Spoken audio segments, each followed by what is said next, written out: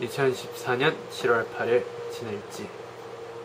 음, 미국에 와서 어, 일지를 이렇게 로그를 찍는데 뭔가 기분이 굉장히 새롭다.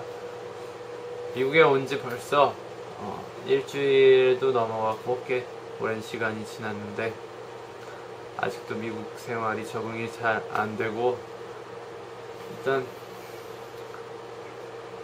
주변에 편의점이 없다 보니까 너무 답답하다. 그게 제일 답답한 것 같고 미국에서는 일단 어, 되게 좋은 마인드들을 배워가는 것 같다.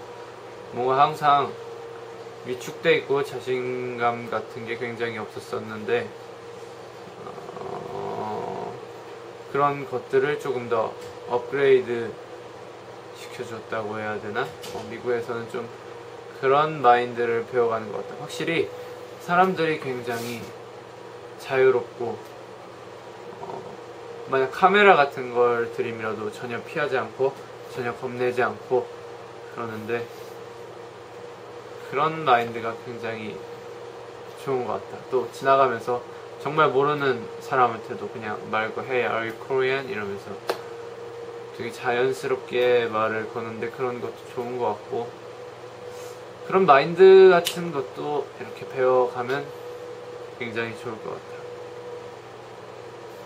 어, 방금 씻고 나왔는데 하루하루가 너무 피곤하다. 어, 차라리 한국에 있을 때가 더 뭔가 여유로웠었던 것 같고 재밌지만 힘든 건 역시 힘들다.